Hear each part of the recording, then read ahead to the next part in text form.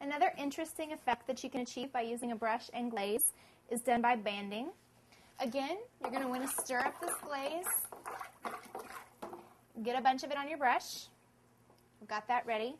Now I'm going to tap this pot on center. And I'm going to put that glaze right on the rim of the pot. I'm going to keep loading up your brush over and over for this particular process. Now I'm going to make concentric parallel lines, well just parallel lines I guess, on the outside of this pot.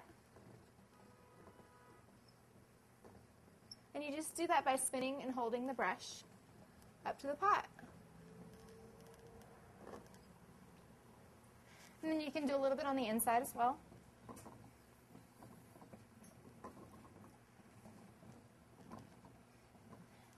You can add a little bit of fun to your pots this way. So now we've got a pot that's got some nice line decoration by using a brush and a banding wheel.